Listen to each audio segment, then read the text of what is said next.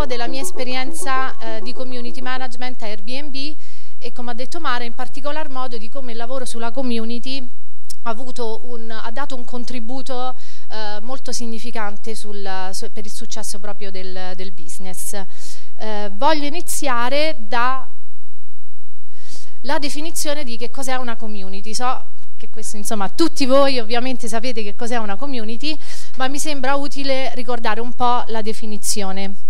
La community è un gruppo di simili che condivide gli stessi valori e si riunisce attorno a un obiettivo comune. Nel caso di Airbnb, quali sono i valori eh, che eh, condivide la nostra community?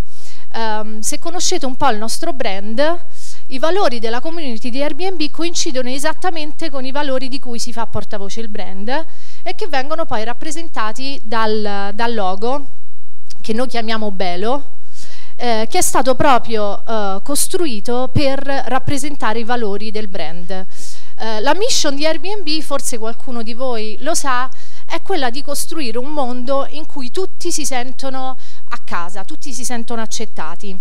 E quindi di fatto i valori eh, di cui il brand si fa portavoce, che condividono poi tutti i membri della community, sono poi i valori di inclusione, accettazione, accoglienza, ospitalità. Queste due foto che vi faccio vedere sono secondo me molto significative perché ci sono state inviate da un host eh, che come vedete abita in una zona un po' rurale degli Stati Uniti e che ehm, lui eh, prova una tale eh, condivisione dei valori di Airbnb che ha deciso di costruire questi bello di metallo e di appenderli all'entrata della sua proprietà proprio a presentazione. No? Qui abita un membro della community di Airbnb, quindi è un esempio molto chiaro di come eh, tramite la condivisione di valori si crei un forte senso di appartenenza al brand.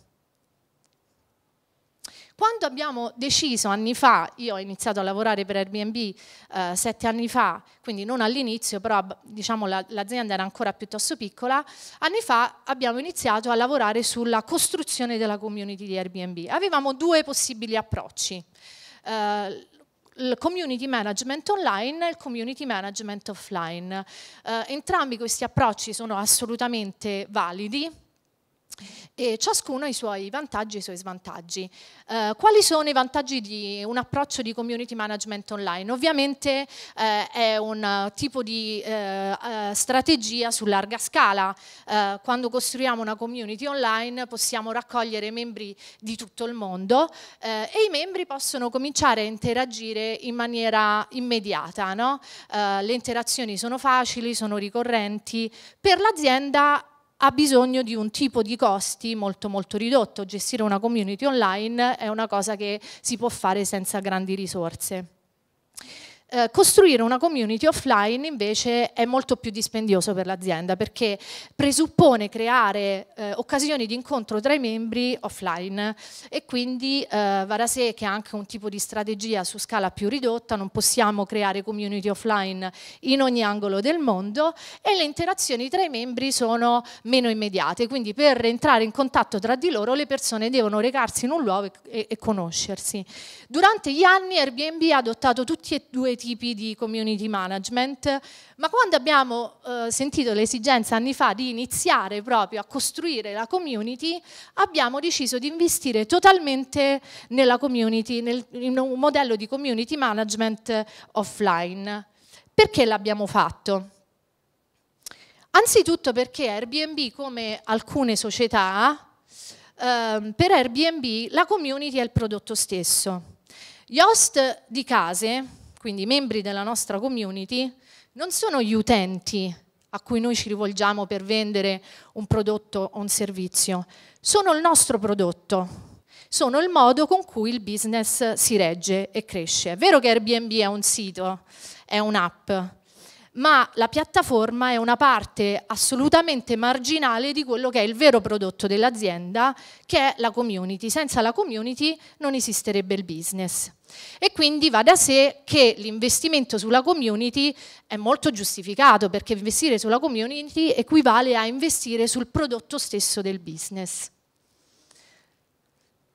Dunque, quando ci si incontra, eh, si crea una community online e ci si incontra online, ci sono diversi tipi di, eh, diciamo di, di, mm, di interazione. No? Ci sono persone che sono più attive in una community online persone meno attive.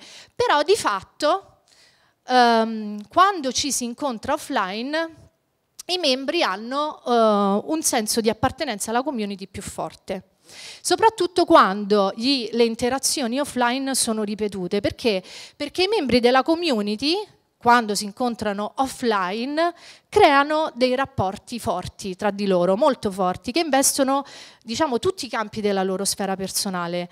Eh, si creano dei rapporti di amicizia, le persone cominciano a frequentarsi, no? anche al di fuori delle occasioni create dall'azienda di incontro.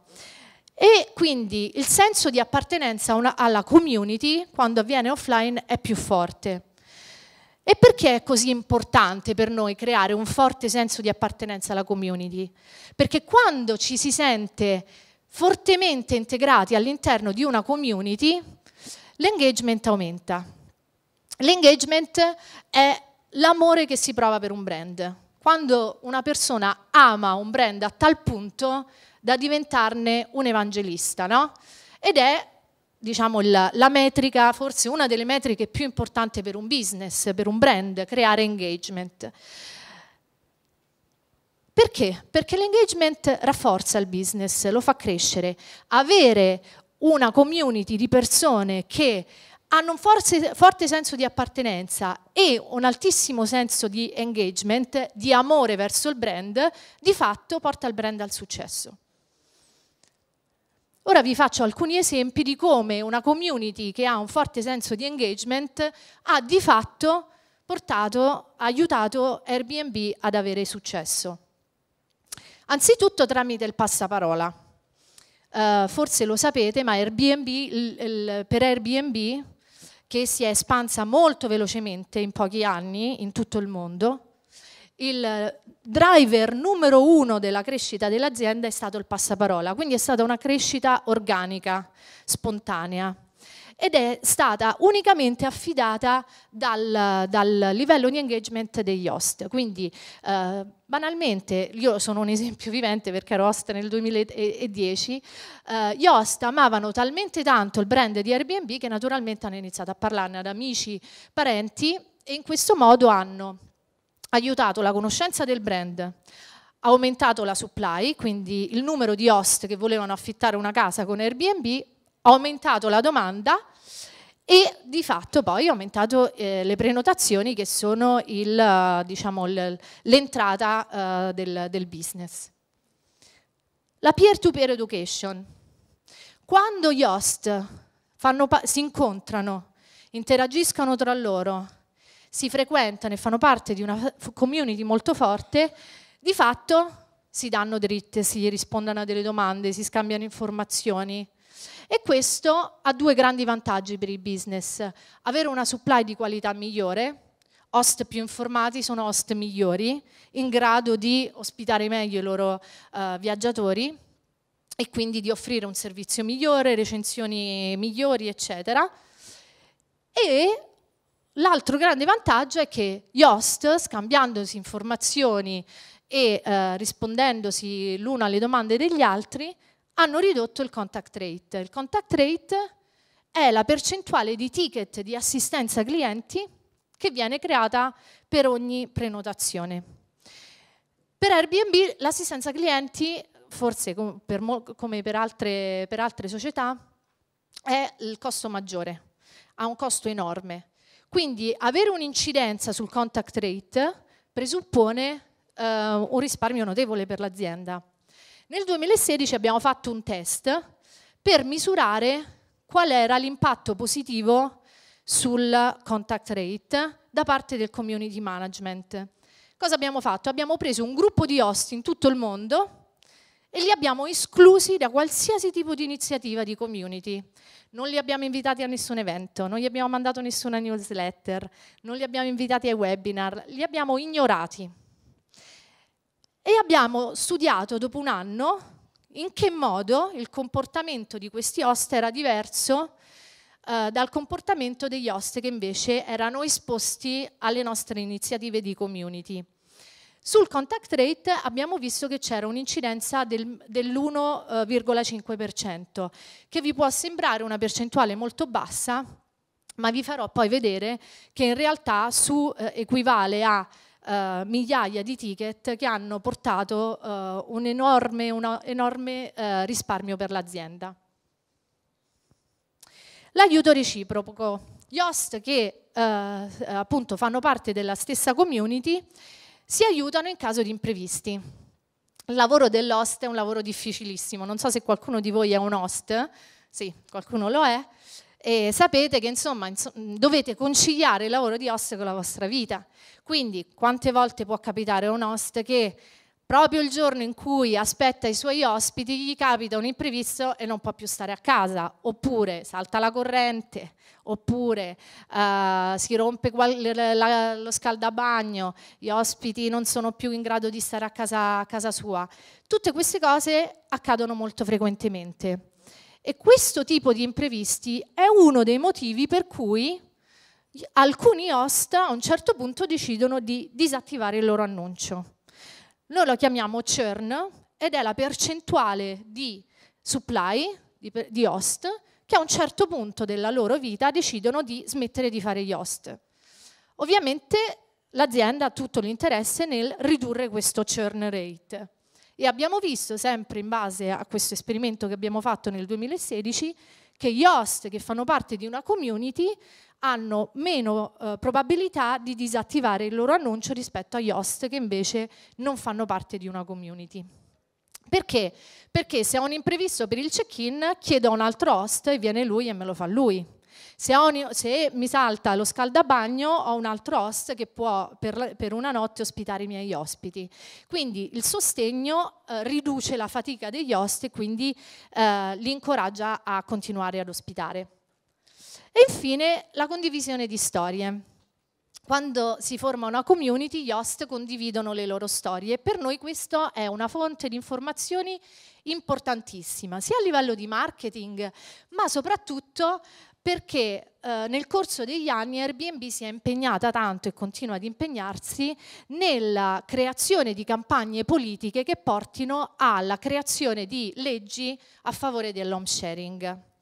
E avere diciamo, un uh, gruppo forte, solido di community members che vogliono condividere le loro storie con i giornalisti, organizzando campagne politiche ovviamente ha un'efficacia molto maggiore rispetto a un'azienda che dialoga con le istituzioni. Quando è la community stessa a organizzare le campagne, eh, il messaggio arriva eh, senz'altro amplificato.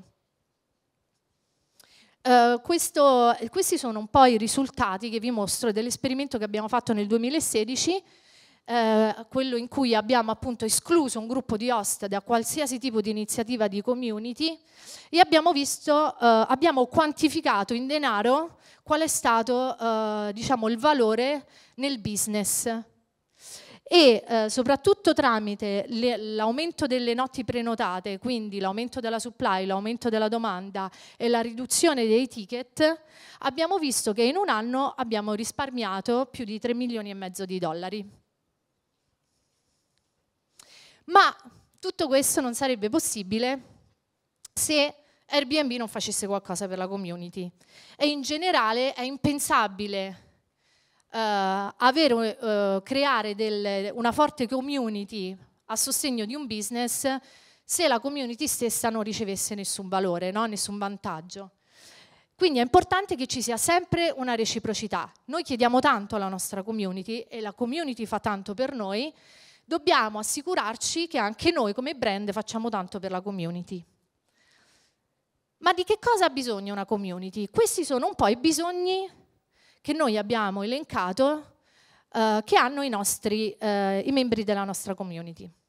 Gli host di Airbnb hanno bisogno di sentirsi ascoltati, valutati, apprezzati. Hanno bisogno di supporto per le loro iniziative. Se un host vuole organizzare degli eventi per conoscere altri host attorno a lui, ha bisogno di tool per invitarli, ha bisogno di un budget per organizzare questi eventi. vogliono essere aggiornati su dove sta andando il business di Airbnb, quali sono le prossime tappe di Airbnb, che cosa state facendo, cosa ci dobbiamo aspettare. E vogliono essere trattati come partner, vogliono essere inclusi in questi piani, non vogliono essere semplicemente informati. Hanno bisogno di assistenza quando hanno bisogno di aiuto, ma alla fine hanno bisogno di essere soprattutto di, di avere successo come host, cioè dev, devono guadagnare, devono ave, ricevere soddisfazioni secondo i loro obiettivi. E questa è una serie di strategie che noi abbiamo adoperato nel corso degli anni per eh, soddisfare i bisogni della nostra community. Quindi eh, appunto sentirsi ascoltati. Mandiamo, cioè, esiste un team eh, in Airbnb che si chiama Love Team che si occupa di eh, festeggiare gli host al raggiungimento di alcuni milestone. Quindi eh, sei host da un anno, hai raggiunto 100 prenotazioni, eh, gli mandiamo dei regali a casa. Li sorprendiamo in questo modo, eh, li invitiamo a, ai nostri uffici, nei nostri uffici di San Francisco, eh, gli mandiamo dei, dei coupon, facciamo degli incontri individuali con loro, eccetera. Ma soprattutto una cosa che facciamo e che loro apprezzano enormemente cerchiamo di includerli eh, per quanto possibile nelle decisioni dell'azienda, quindi trattarli veramente come partner. Recentemente una cosa che abbiamo fatto nel settore delle esperienze di cui mi sto occupando io adesso è eh, stiamo costruendo le prossime politiche di cancellazione per il settore delle esperienze, abbiamo mandato una mail a tutti i nostri host di esperienze dicendo voi come le vorreste le politiche di cancellazione? Perché ancora non le abbiamo fatte, diteci la vostra. E questa cosa è stata enormemente apprezzata. Alcuni host mi hanno detto, ma come una grande azienda come Airbnb chiede a me come voglio fare le politiche di cancellazione? E questa è la cosa che forse il, il, membro di una community può apprezzare di più, l'inclusione, eh, cioè non, si, non, siamo separati, non prendi tu le decisioni e poi mi informi, ma le prendiamo insieme, siamo veramente parte della stessa community. Questo è uno strumento che noi abbiamo usato molto e si può personalizzare ovviamente se voi non lo conoscete, è la commitment curve.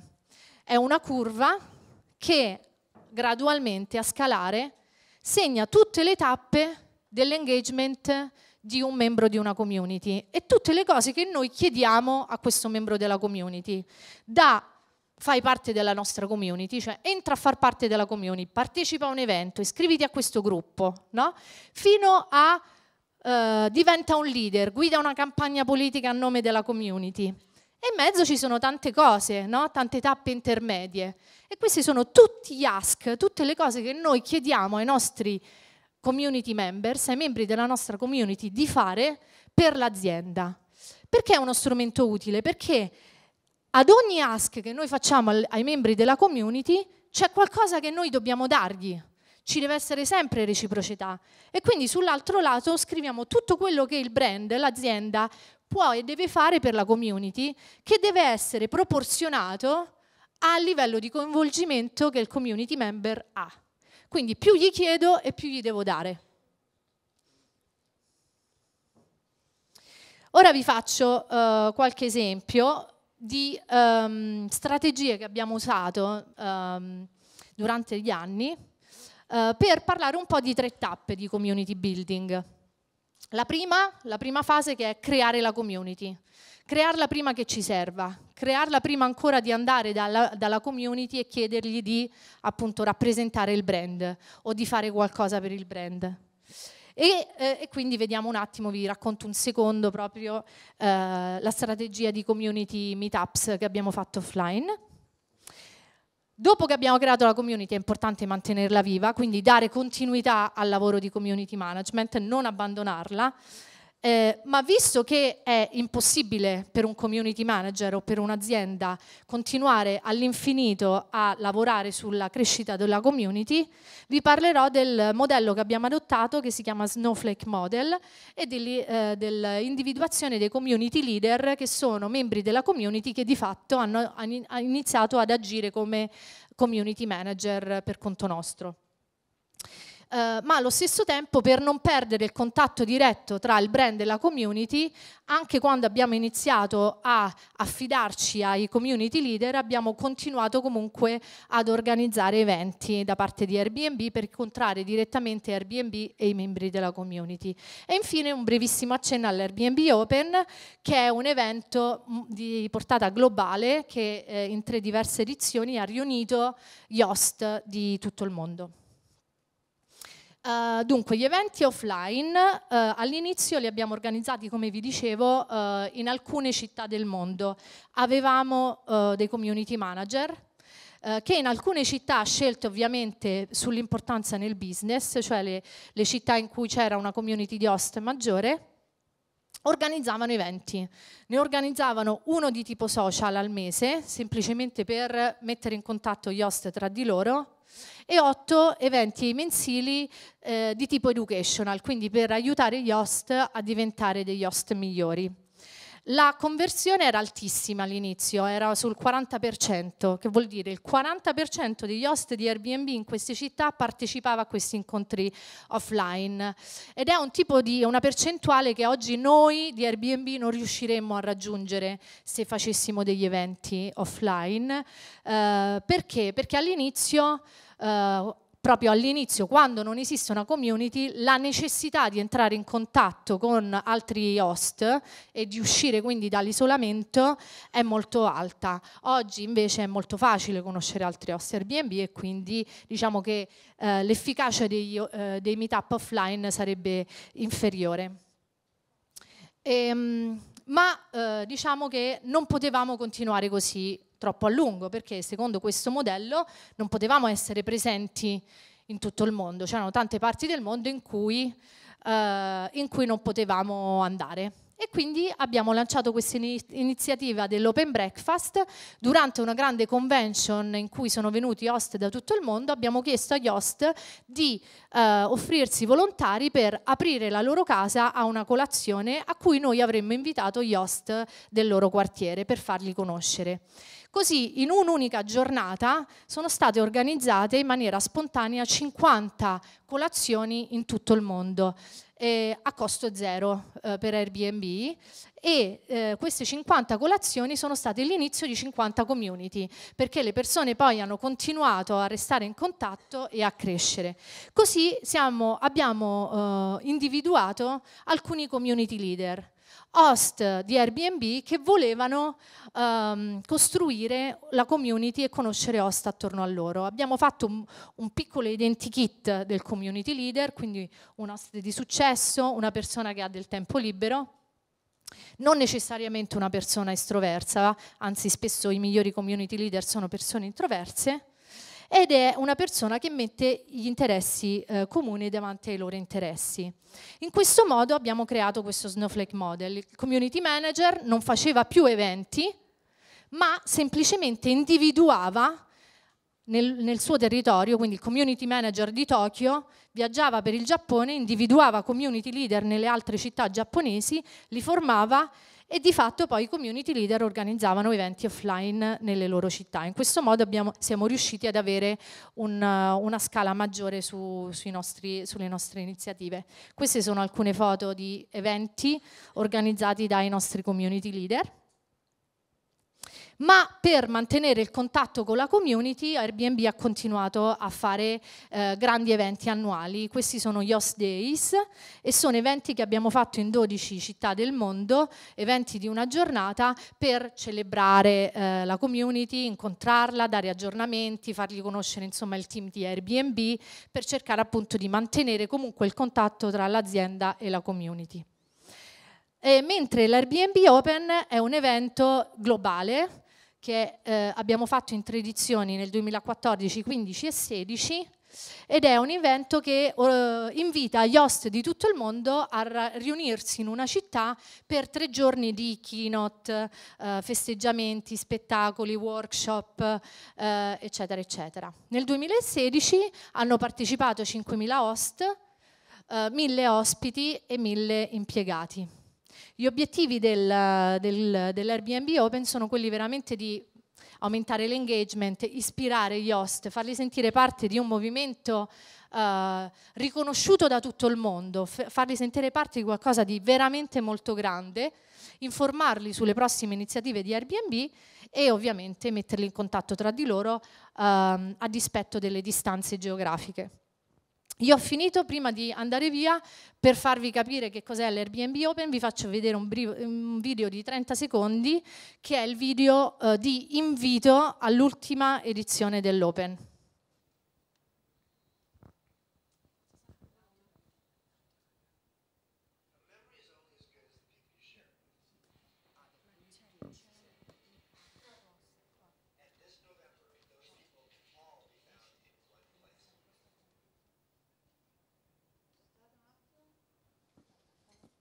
No non fa niente, eh, giusto.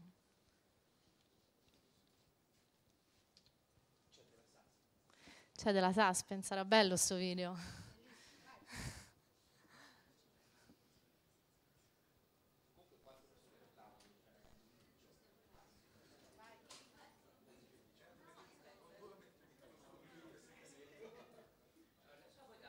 No, si è proprio disconnesso.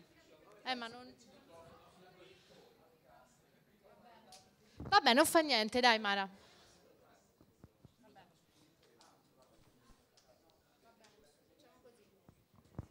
Eh, grazie Caterina, ci sono domande?